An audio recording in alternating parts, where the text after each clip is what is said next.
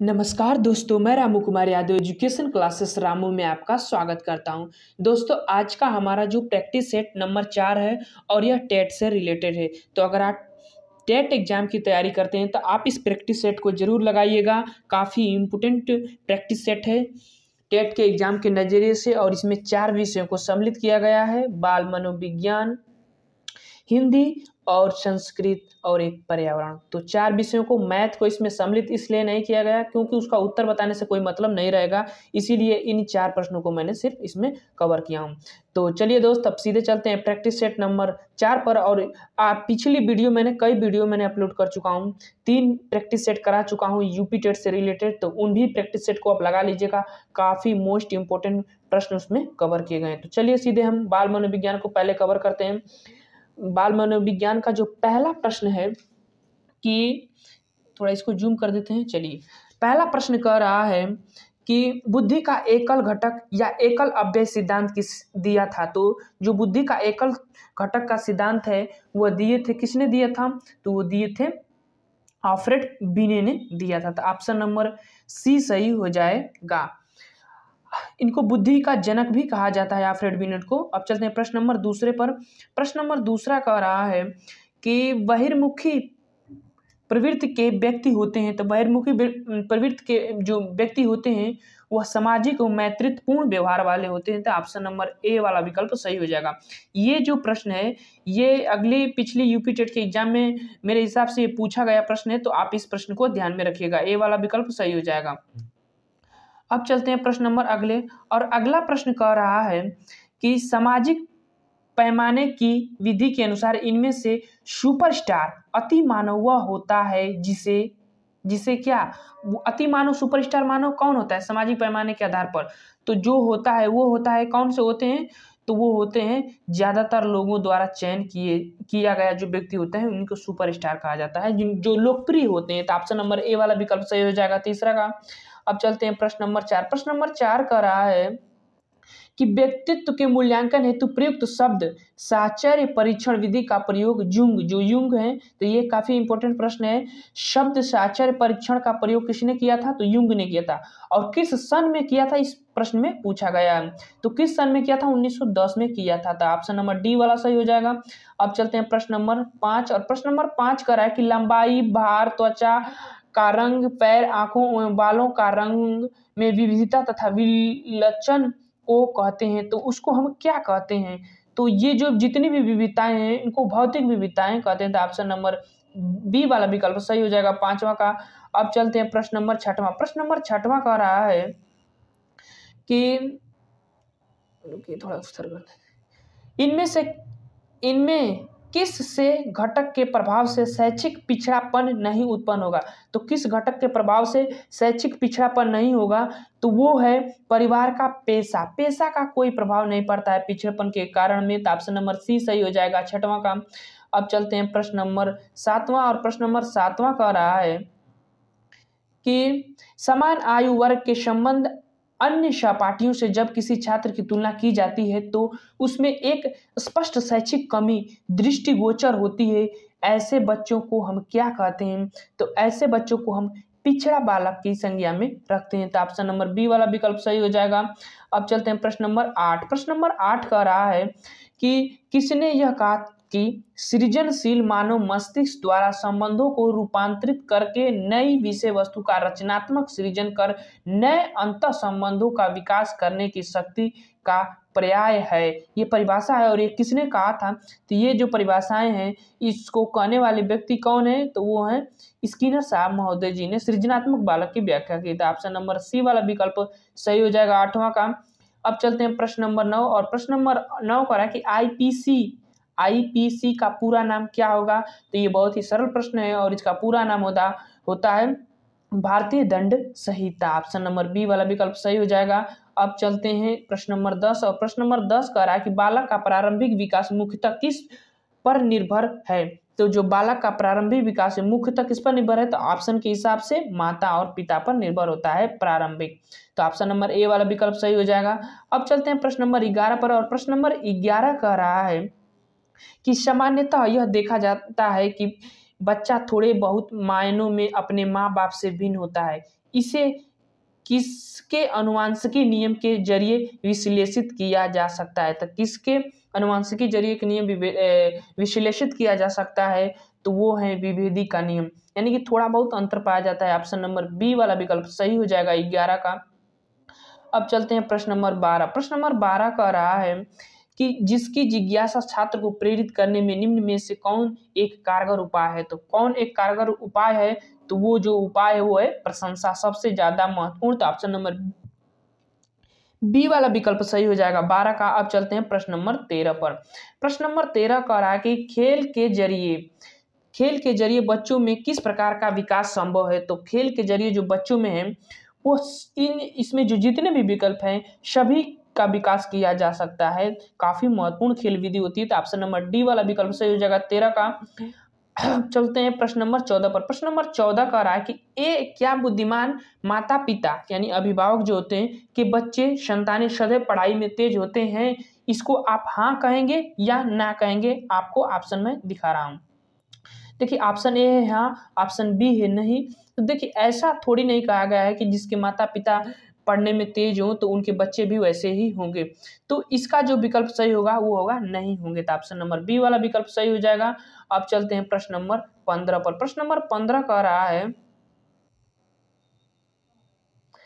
प्रश्न नंबर पंद्रह कह रहा है कि निर्धन परिवार के बच्चे जो छोटे आकार के परिवार में समृद्ध हैं, उनको विकास के बेहतर वातावरण पाने के मौके होते हैं, क्योंकि उन्हें बड़े परिवार के निर्धन बच्चों की अपेक्षा मतलब जो छोटे परिवार के बच्चे होते हैं, उनको बड़े परिवार के बच्चों से ज़्यादा विकास के अवसर मिलते हैं मिलते हैं तो उसको हम क्या कह सकते हैं? तो उसको हम कह सकते हैं, उन्हें बेहतर परिस्थिति का प्राप्त होता है तो ऑप्शन नंबर डी वाला विकल्प जो है, पंद्रह का सही हो जाएगा कि उन्हें बेहतर परिस्थितियाँ प्राप्त होती हैं तो ऑप्शन नंबर डी वाला सही हो जाएगा। आप चलते हैं प्रश्न नंबर सोलह पर। प्रश्न नंबर सोलह का है कि बच्चों के सामाजिकरण का, सामाजिकरण करने की दो विधियों में एक स्नेह परक सजा एवं एक स्नेह परक सजा एवं।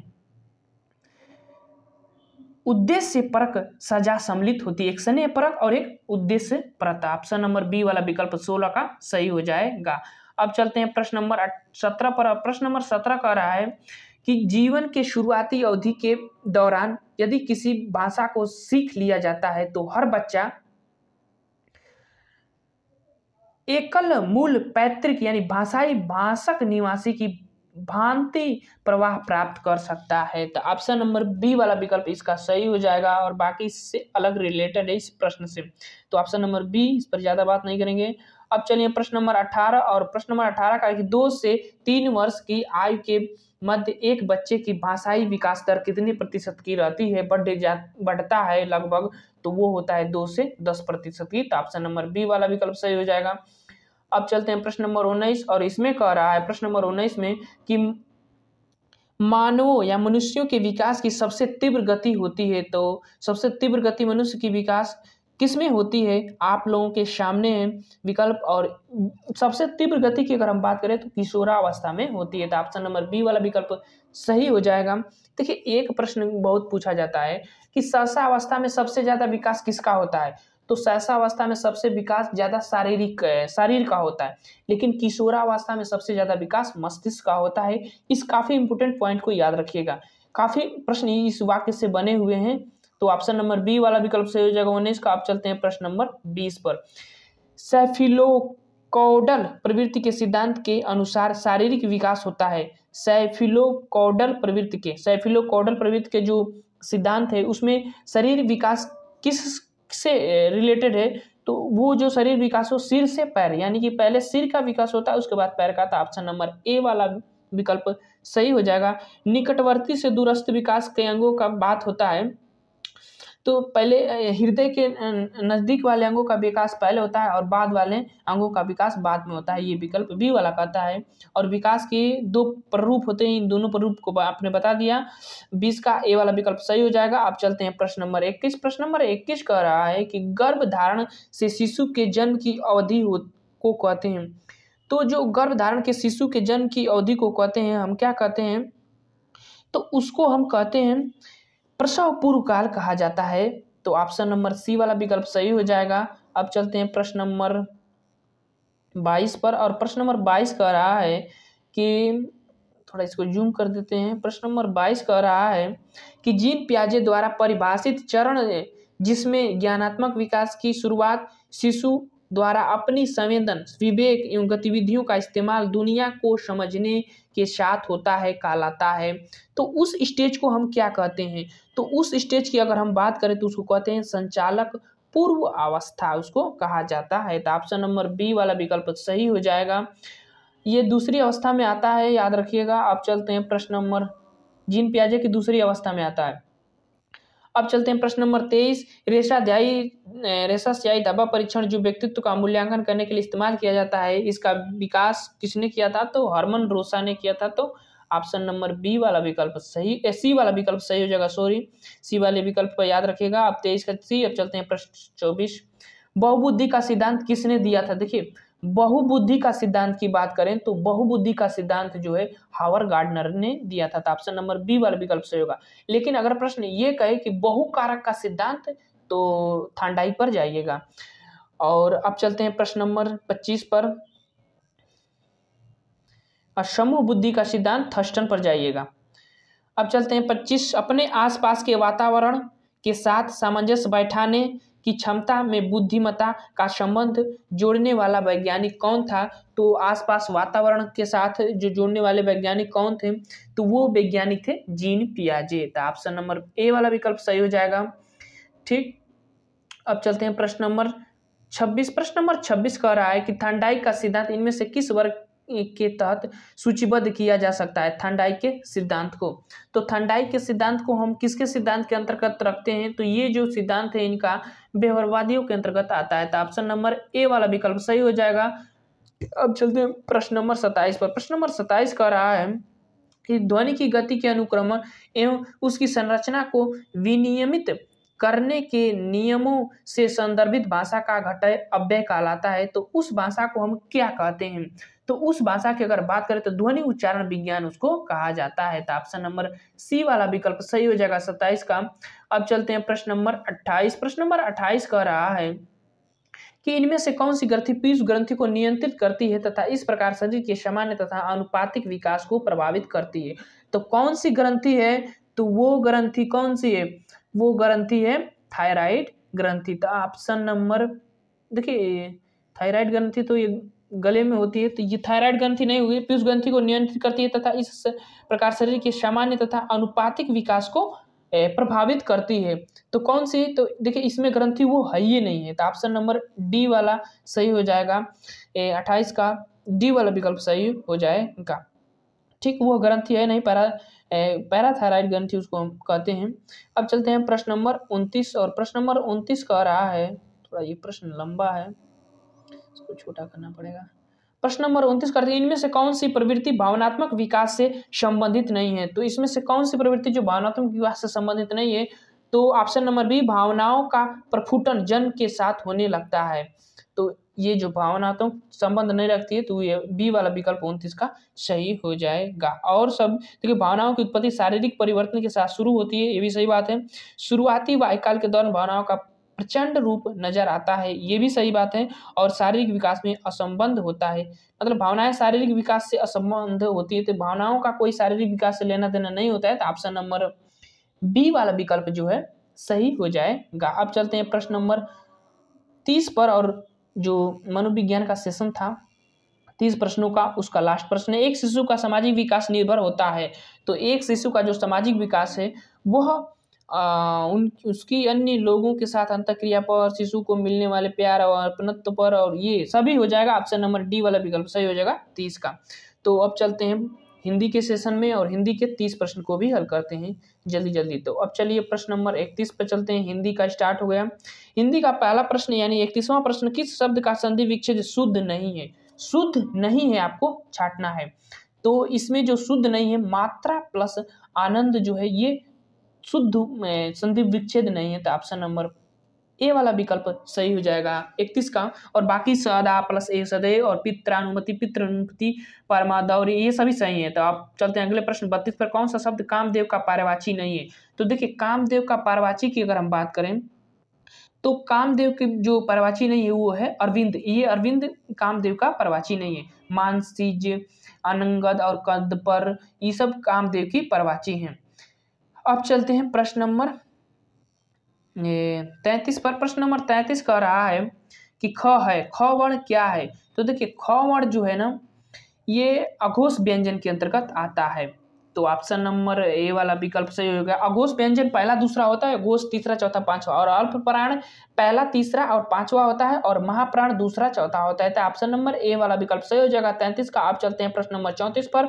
ऋण मुक्त समस्त पद का विग्रह होगा। ऋण से मुक्त। ऑप्शन नंबर डी वाला विकल्प सही हो जाएगा। चौंतीस का।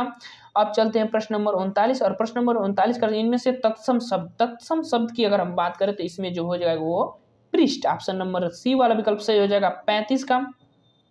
अब चलते हैं अगले छत्तीस प्रश्न। बहुबरी समाज का उदाहरण नहीं है। इसमें बहुबरी समाज का जो उदाहरण नहीं है वो कौन नहीं है? तो बारह सिंघा। तो बारा सिंघा ये जो बहुबरी समाज का उदाहरण है और इसमें जो बहुबरी समाज का उदाहरण है, पसेरी। तो ये बहुबरी समाज का नहीं ऑप्शन नंबर ए वाला विकल्प सही हो जाएगा, छत्तीस का। अब चलते हैं प्रश्न नंबर सैंतीस और इसमें से अकर्मक क्रियाएँ बताइए। अकर्मक क्रियाएँ अकर्मक क्रियाएँ, वो क्रियाएँ होती है जिसमें कर्म नहीं आता है। सकर्मक क्रियाओं में कर्म आता है तो इसमें अकर्मक क्रियाएँ आपको बताना है। तो अकर्मक क्रियाएँ की अगर हम बात करें तो इसमें अकर्मक क्रिया हो जाएगी रोना, जो नहीं है। तो ऑप्शन नंबर डी वाला विकल्प सही हो जाएगा, सैंतीस का। और क्रिया वाला जो टॉपिक होता है, वो उसको आप अपने हिसाब से ढंग से पढ़ लीजिएगा, क्योंकि काफ़ी, उसमें से हर साल प्रश्न बनता है और काफ़ी लोग उस चीज़ को गलत करते हैं। रघुपति शब्द किस समाज का उदाहरण है? तो रघुपति जो शब्द है वह किस समाज का उदाहरण है? तो वो उदाहरण है बहुब्रीही समाज का। तो ऑप्शन नंबर सी वाला विकल्प सही हो जाएगा। अब चलते हैं प्रश्न नंबर अगले, उनतालीस। संस्कृति की दूसरी मंजिल है। संस्कृति की दूसरी मंजिल है का अर्थ क्या हो सकता है? तो संस्कृति की दूसरी मंजिल की अगर हम बात करें तो चित्रंद्र मूल्यों का संरक्षण, संगीत, कला आदि का संरक्षण और परंपरा और रूढ़ी का आश्रय स्थल था। ऑप्शन नंबर डी वाला विकल्प सही हो जाएगा। संस्कृति जो आपके आसपास के वातावरण में मिलती है, उसी को कहते हैं, जिसको दूसरी मंजिल कहा जाता है। तो ऑप्शन नंबर डी वाला विकल्प सही हो जाएगा उनतालीस का।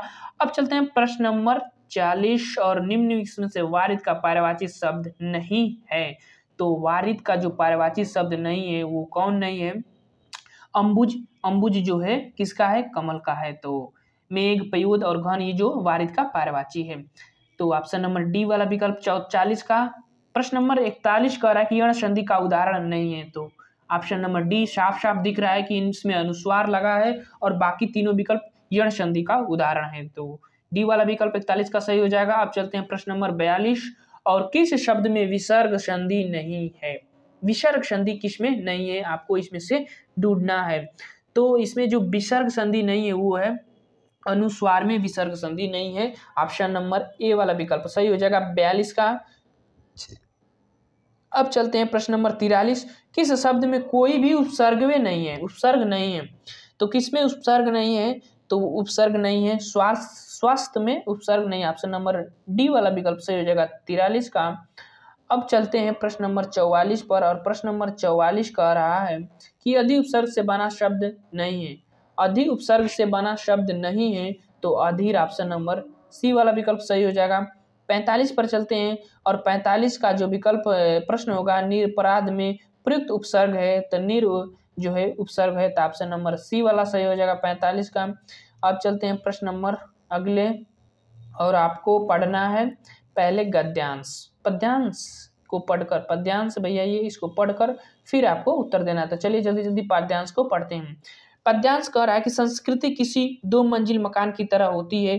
पहली मंजिल पर एक दम मूलभूत मगर चित्रंजन जीवन मूल्य होते हैं। इसमें परस्पर सहकार्य, न्याय, सौंदर्य जैसे मूलभूत तत्व आते हैं। ये मूल्य समाज से परे होते हैं। पहली मंजिल पर दूसरी मंजिल का निर्माण किसी समाज की विशिष्ट आवश्यकता के अनुरूप होता है। ठीक?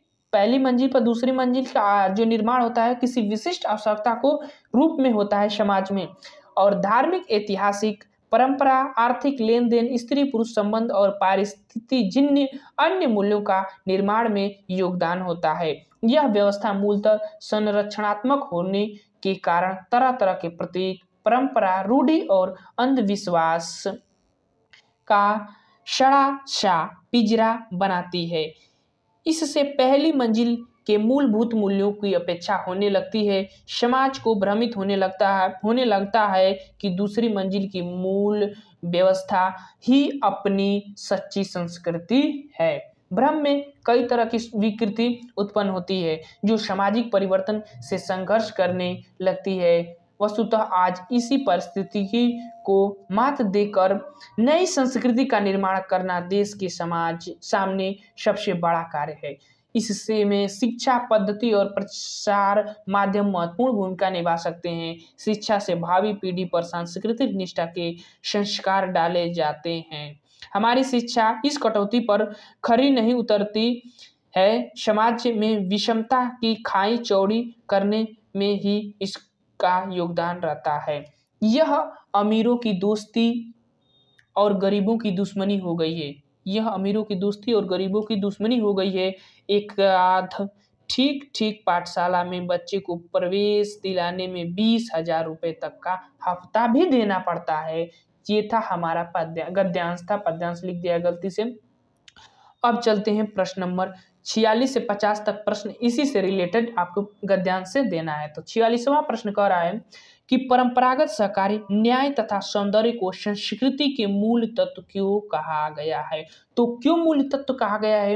अब गद्यांश पे इसको ध्यान से देखिएगा। देखिए, संस्कृति को मूल तत्व इसलिए कहा गया है क्योंकि इसमें समाज के अधिक आस्था होती है। समाज का अधिक इसमें क्या होती है? आस्था होती है। देखिए, भारत में तो सबसे ज़्यादा आस्था ही देखी जाती है धर्म के समान में। तो ऑप्शन नंबर डी वाला विकल्प सही हो जाएगा। छियालीस का अब चलते हैं प्रश्न नंबर सैंतालीस पर। गद्यांश के हिसाब से आपको इन प्रश्नों को पढ़ना है और उत्तर देना है। इस चीज़ को ध्यान में रखिएगा। अब ये तो काफ़ी बड़ा प्रश्न है तो इसको छोटा करना पड़ेगा। अब चलिए इसको देखते हैं। संस्कृति के मूल तत्व की अपेक्षा क्यों होनी, होने लगती है? तो संस्कृति के जो मूल तत्वों की अपेक्षा क्यों होने लगती है तो वह होने लगती है क्यों? तो वह होने पुरानी रूढ़ियाँ और परंपराएँ हम पर हावी हो जाती हैं और हम ठीक प्रकार से नहीं सोच पाते हैं। तो उपेक्षाएँ होने लगती हैं तो ऑप्शन नंबर बी वाला विकल्प सही हो जाएगा सैंतालीस का। अब चलते हैं प्रश्न नंबर अड़तालीस पर और प्रश्न नंबर अड़तालीस कह रहा है कि संस्कृति को दो मंजिल मकान की तरह क्यों बताया गया है? संस्कृति को दो मंजिल मकान की तरह क्यों बताया गया है? तो संस्कृति को दो मंजिल मकान की तरह इसलिए बताया गया है क्योंकि उसका संबंध उच्च और निम्न वर्ग दोनों में हो गया है, यानी उच्च वर्ग में और निम्न वर्ग में बांट रहा है। तो ऑप्शन नंबर सी वाला विकल्प सही हो जाएगा अड़तालीस का। अब चलते हैं प्रश्न नंबर उनचास और प्रश्न नंबर उनचास का रहा कि संस्कृति के पुनर्निर्माण में सबसे अधिक सहायक कौन हो सकता है? तो संस्कृति के पुनर्निर्माण में सबसे अधिक सहायक कौन हो सकता है? तो संस्कृति का सामान्य जनों में उचित प्रचार प्रसार ऑप्शन नंबर डी वाला विकल्प सही हो जाएगा उनचास का। अब चलते हैं प्रश्न नंबर पचास। शिक्षा पद्धति सफल क्यों नहीं हो रही है? शिक्षा पद्धति सफल क्यों नहीं हो रही है? उस गद्यांश के हिसाब से। क्योंकि वह अमीरों और गरीबों के बीच खाई चौड़ी कर रही है, जो हमारी संस्कृति है। ऑप्शन नंबर ए वाला विकल्प सही हो जाएगा पचास का। अब चलते हैं प्रश्न नंबर इक्यावन और स्त्री पुरुष में प्रयुक्त समास तो स्त्री पुरुष एक दूसरे के विपरीतार्थ हैं तो हम किस पर जाएँगे? अब हम इस पर जाएँगे द्वंद्व पर। तो ऑप्शन नंबर सी वाला विकल्प सही हो जाएगा। अब चलते हैं प्रश्न नंबर बावन और प्रश्न नंबर बावन कह रहा है कि वाक्यांश के लिए कौन सा शब्द अशुद्ध है? शब्द अशुद्ध शब्द इसमें आपको छाटना है। तो अशुद्ध शब्द की अगर हम बात करें तो इसमें अशुद्ध शब्द क्षण में या शीघ्र टूटने वाला खंडहर। ये एक अशुद्ध शब्द की श्रेणी में आ रहा है। शब्द है अशुद्ध शब्द शब्द अशुद्ध है। तो ऑप्शन नंबर ए वाला विकल्प सही हो जाएगा बावन का। अब चलते हैं प्रश्न नंबर तीन पर पर और तिरपन करा कि वर्तनी की दृष्टि से अशुद्ध शब्द है। तो देखिए, जो अशुद्ध शब्द है, ये बी वाला विकल्प हो जाएगा। तदोपरांत नहीं होता है, तदुपरांत होता है। ठीक? तो ये काफ़ी प्रश्न पूछा गया है। इस शब्द को याद रखिएगा। ऑप्शन नंबर बी वाला विकल्प सही हो जाएगा तिरपन का। अब चलते हैं प्रश्न नंबर चौवन पर और प्रश्न नंबर चौवन कह रहा है कि प्रताप को प्रताप उच्चारण करना कौन से प्रकार के अशुद्ध उच्चारण का भेद है? कौन से प्रकार के? तो इसको स्वरालाप कहते हैं। स्वर का जो उच्चारण करते हैं तो उसमें घात होता है तो ऑप्शन नंबर बी वाला विकल्प सही हो जाएगा चौवन का। अब चलते हैं प्रश्न नंबर पचपन और प्रश्न नंबर पचपन कह रहा है कि भाषा संरचना में अपेक्षित भाषा के प्रमुख अंग होते हैं। अपेक्षित भाषा के प्रमुख अंग कितने होते हैं? तो अंग की हम बात करें तो इसको दो अंग होते हैं। ऑप्शन नंबर बी वाला विकल्प सही हो जाएगा। अब चलते हैं प्रश्न नंबर छप्पन। प्राथमिक स्तर पर भाषा अध्ययन में मुख्य तत्व होगा। तो प्राथमिक स्तर में भाषा अध्ययन के लिए मुख्य तत्व जो है वो है उच्चारण की अस्पष्टता ऑप्शन नंबर बी वाला विकल्प, डी वाला विकल्प सही हो जाएगा छप्पन का। अब चलते हैं प्रश्न नंबर संतावन और प्रश्न नंबर संतावन कह रहा है कि जातिवाचक में व्यक्तिवाचक संज्ञाओं का कौन सा युग्म गलत है? इसमें से गलत युग्म आपको छाटना है तो कुत्ता का पिल्ला नहीं होता है भैया तो ऑप्शन नंबर ए वाला ही विकल्प मिल गया। गलत है। अब अगला प्रश्न, अवर शब्द का विलोम तो अवर का जो विलोम होता है, वो होता है प्रवर, और ऑप्शन नंबर सी सही हो जाएगा अंठावन का। अब चलते हैं प्रश्न नंबर उनसठ। उसमें महाप्राण वर्ण है। उसमें भी है और महाप्राण वर्ण भी है। इन दोनों शब्द को याद रखिएगा। उसमें भी रहेगा और महाप्राण भी रहेगा।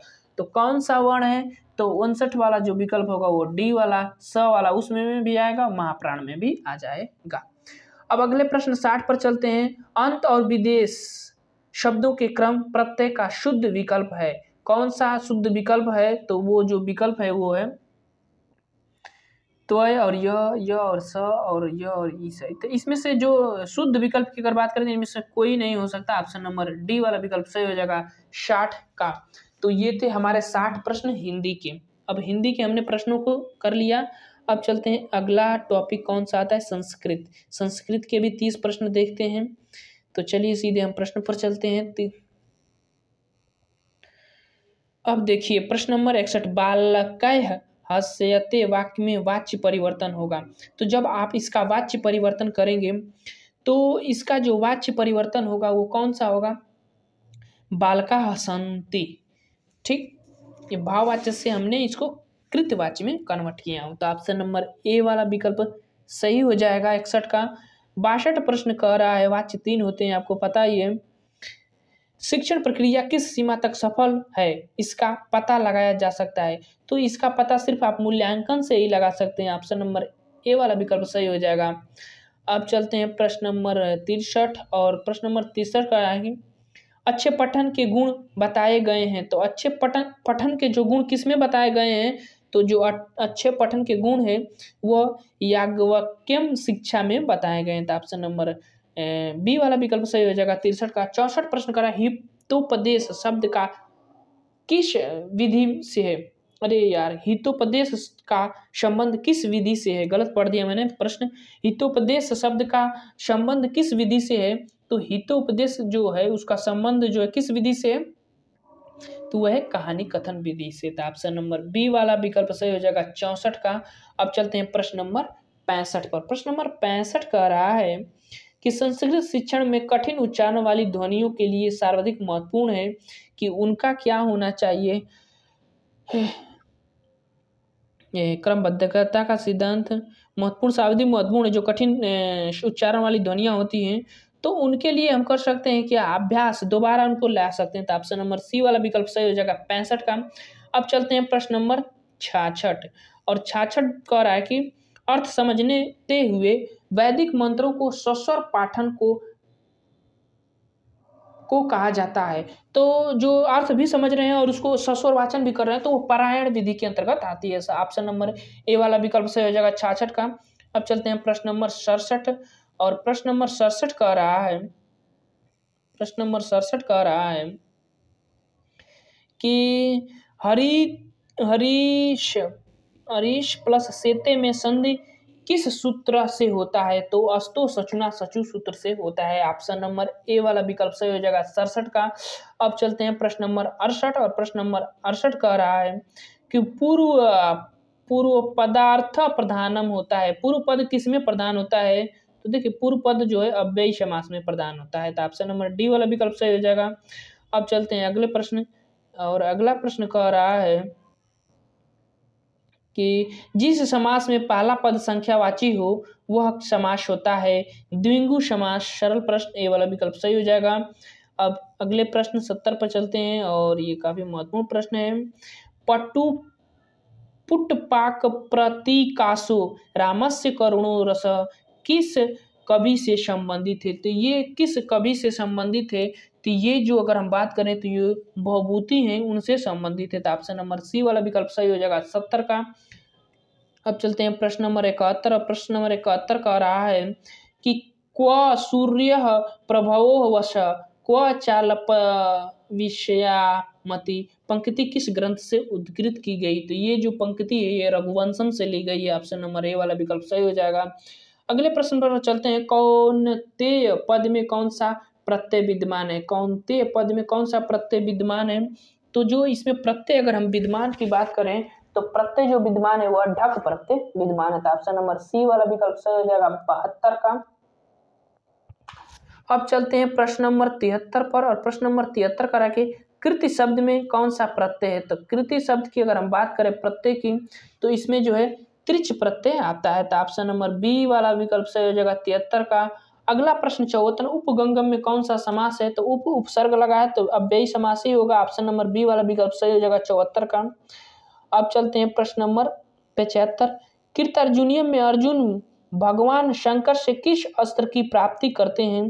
तो जो भगवान शंकर से है, यह किस अस्त्र की प्राप्ति करते हैं? शंकर से।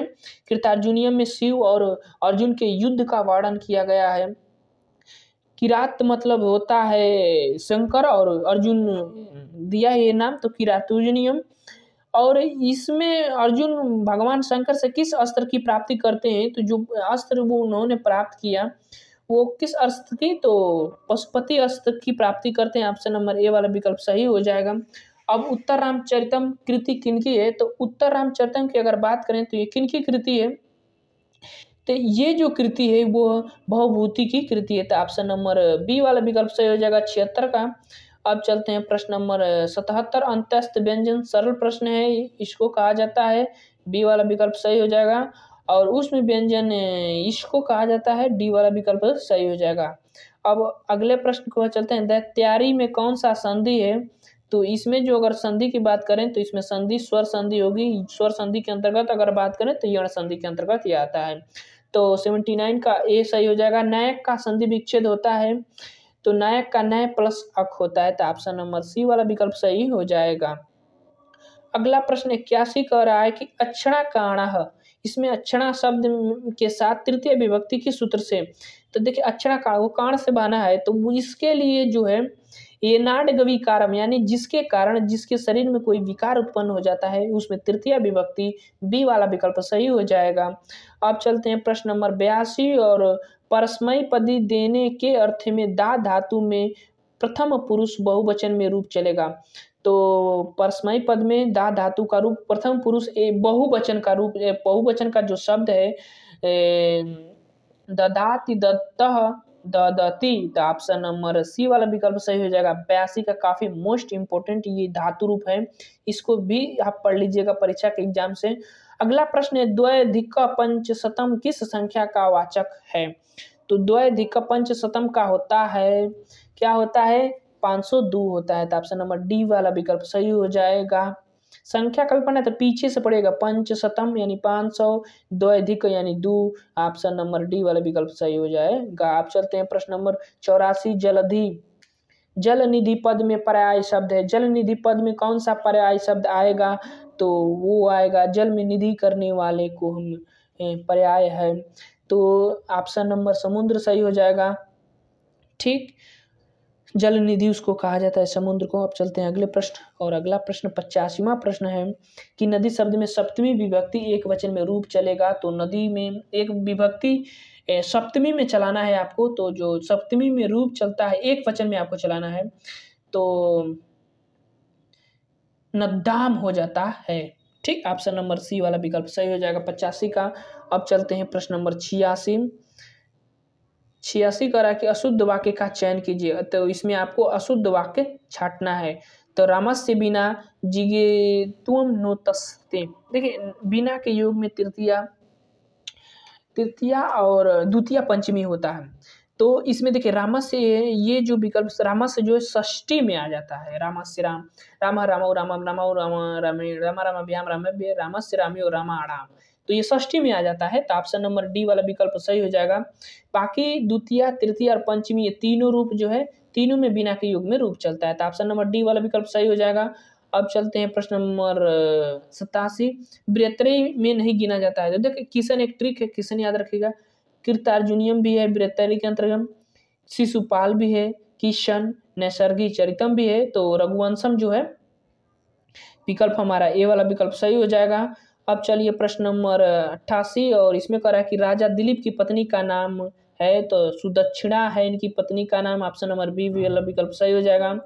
अब चलते हैं अगले प्रश्न और अगला प्रश्न कह रहा है कि लता कुंज गुंज जनमंद वदील पुंज चपलयन में अलंकार है। तो इसमें आपको अलंकार पूछ रहा है और अलंकार कौन सा है? अनुप्रास अलंकार। तो ऑप्शन नंबर बी वाला विकल्प सही हो जाएगा। अब संस्कृत वाले पोर्शन का लास्ट प्रश्न देखते हैं। जीवेशु मावना श्रेष्ठा वाक्य में रेखांकित पद में विभक्ति सूत्र है। तो देखिए, जब आप से ये लग जाए ना तो समझिएगा कि षष्ठी का है। जीवेशु षष्ठी सप्तमी का है, सॉरी, सप्तमी का है। अब सप्तमी के योग में आपको इसमें से खोजना है तो श्रेष्ठ बता रहा है मानव को तो तत्स निर्धारण, यानी बहुतों में जब किसी एक को श्रेष्ठ बताया जाता है तो ऑप्शन नंबर सी वाला विकल्प सही हो जाएगा नब्बे का।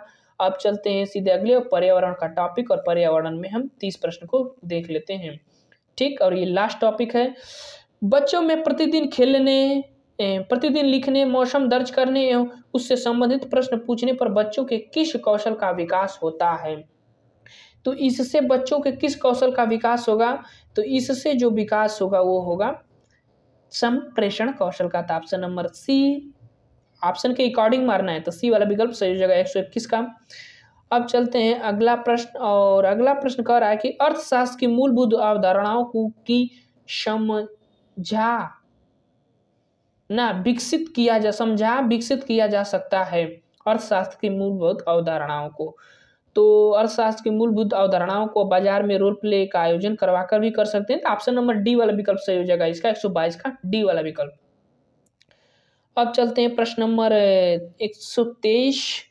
पर्यावरण के अंतर्गत आते हैं तो पर्यावरण के अंतर्गत क्या आएँगे? तो ये जितने भी दिए गए हैं, सभी पर्यावरण के अंतर्गत आते हैं तो ऑप्शन नंबर डी वाला विकल्प सही हो जाएगा।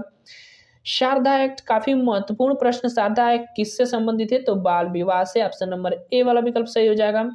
अब चलते हैं, अगला प्रश्न, और अगला प्रश्न है, अगला प्रश्न कह रहा है कि बच्चों के लिए सीखने के अवसर प्रदान करने के लिए आप इनमें से क्या नहीं करेंगे?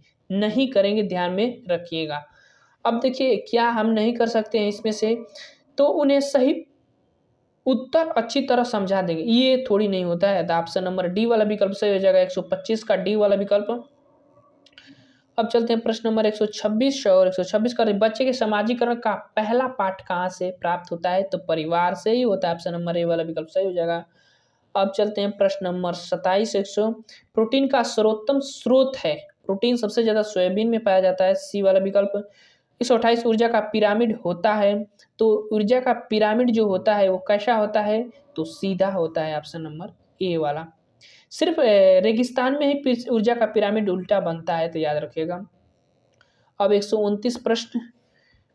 प्रकृति में ऑक्सीजन का प्रमुख स्रोत है।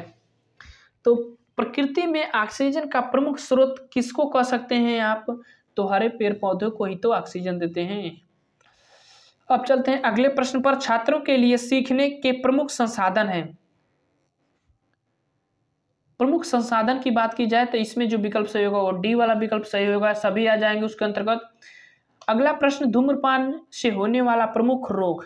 अगर आप धूम्रपान करते हैं तो आपको कैंसर रोग हो सकता है? तो कैंसर हो सकता है, फेफड़े का कैंसर हो सकता है। ऑप्शन नंबर बी वाला विकल्प सही हो जाएगा, एक सौ इकतीस का। अब चलते हैं प्रश्न नंबर एक सौ बत्तीस। बोलते बोलते थक गए हूँ भाई लोग।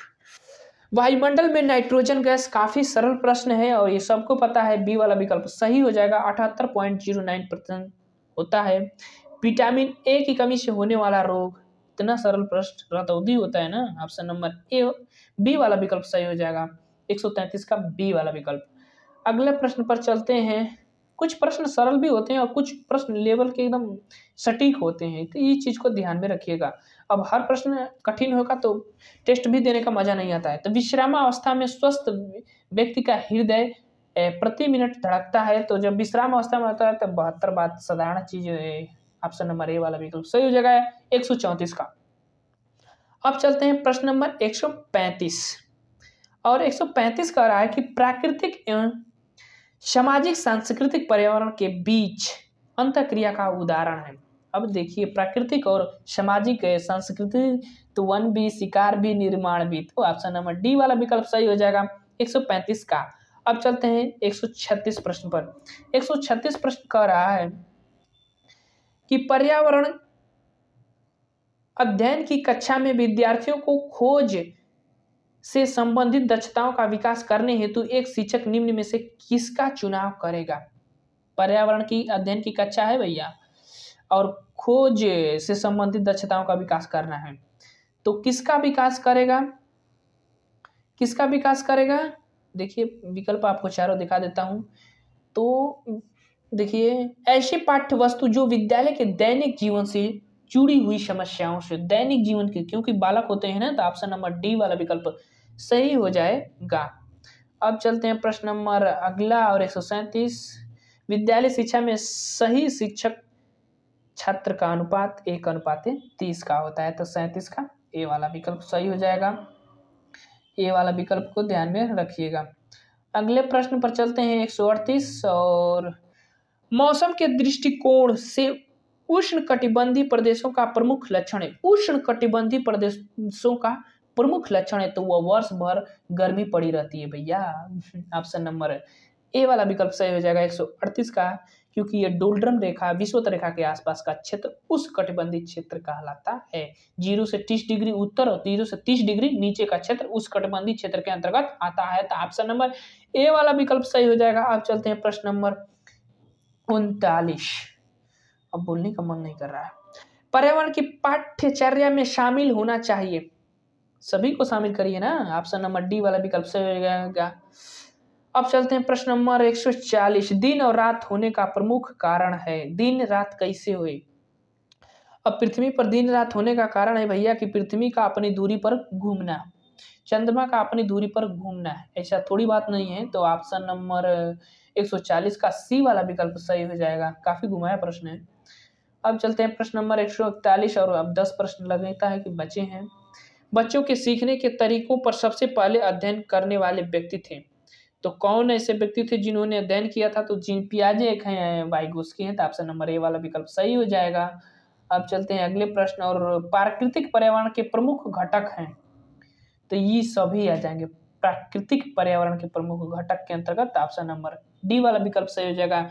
एक सौ बयालीस का डी वाला विकल्प। अब चलते हैं प्रश्न नंबर एक और एक सौ कह रहा है। कि पर्यावरण अध्ययन की कक्षा में बच्चे के अनुभवों को महत्व देना चाहिए, क्योंकि, क्यों महत्व देंगे उनके अनुभवों को?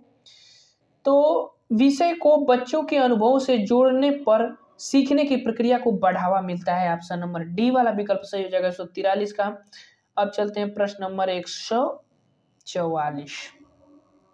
ये प्रश्न कह रहा है कि हमारे शरीर के किस अंग के द्वारा अमोनिया को यूरिया में बदला जाता है? तो कौन करेगा? या न करेगा। तो ऑप्शन नंबर ए वाला विकल्प सही हो जाएगा। एक सौ चौवालीस का ए वाला। अगला प्रश्न, एक पोषक स्तर से दूसरे पोषक स्तर तक का ऊर्जा का कितना भाग स्थानांतरित होता है? तो वो कितना भाग होला? दस प्रतिशत माना जाना। ऑप्शन नंबर डी वाला विकल्प सही हो जाएगा। अब चलते हैं एक सौ छियालीस प्रश्न पर। ये प्रश्न कह रहा है, रुकिए थोड़ा इसको जूम कर लेते हैं, बड़ा हो जाएगा तो अच्छा रहेगा। ये प्रश्न कर रहा है कि ज्ञान निर्माण में निम्नलिखित में से किसका आवश्यक आवश्यकता होती है? तो इसमें सभी की आवश्यकता होगी, अनुभव की भी होगी, अवधारणा का बनाना, अन्वेषण विधि एवं सत्यापन। तो ऑप्शन नंबर डी वाला विकल्प सही हो जाएगा, एक सौ छियालीस का। अब चलते हैं प्रश्न नंबर एक सौ सैंतालीस और निम्नलिखित में से कौन वायुमंडल की निम्नलिखित में से कौन वायुमंडल की स्वतंत्र नाइट्रोजन का स्थिरीकरण करता है? तो कौन करता है? तो देखिए, नाइट्रोजन की स्थितिकरण कौन बताएगा भैया आपको? तो नील हरित सवाल जो है वो बताते हैं। तो ऑप्शन नंबर ए वाला विकल्प सही हो जाएगा एक सौ सैंतालीस का। अगला प्रश्न, सामाजिक बुराइयों का उदाहरण है तो ये सभी सामाजिक बुराइयाँ है, दहेज, बाल विधा बाल आश्रम, ये सभी आ जाते हैं। तो ऑप्शन नंबर डी वाला विकल्प एक का। अगला प्रश्न कह रहा है कि पर्यावरण अध्ययन की कक्षा होनी चाहिए। कैसी होनी चाहिए? गतिविधि आधारित पाठ्य पुस्तक पर आधारित पाठ्य पुस्तक में दी गई गतिविधियों पर आधारित होनी चाहिए। तो एक सौ उनचास का जो विकल्प होगा, वो होगा उपयुक्त सभी मत करिएगा, हर जगह अब उपयुक्त सभी करेंगे तो ऑप्शन नंबर ए वाला विकल्प सही हो जाएगा। गतिविधि आधारित होना चाहिए। और इस वीडियो का लास्ट प्रश्न चल, देखते हैं, जाते जाते। और लास्ट प्रश्न कह रहा है कि बच्चों में सामाजिक भावना का विकास करने के लिए निम्नलिखित में से कौन सा प्रयास सर्वोत्तम होता है? तो सामाजिक भावना का आपको विकास करना है बच्चों में तो सर्वोत्तम विकल्प भी आपको चुनना है। तो देखिए, सर्वोत्तम विकल्प आपको चुनना है। बच्चों को स्वास्थ्य स्पर्धा के लिए तैयार करना। सर्वोत्तम विकल्प है।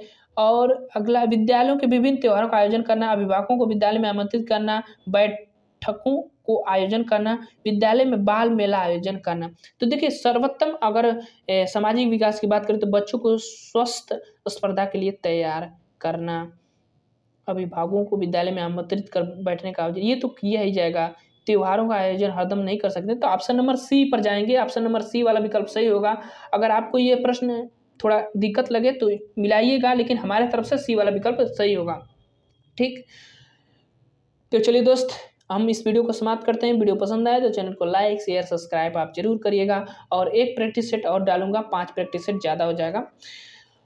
इसके बाद एक प्रैक्टिस सेट वो भी आ जाएगा। तो चलिए वीडियो समाप्त करते हैं। Thank you thank you for watching this video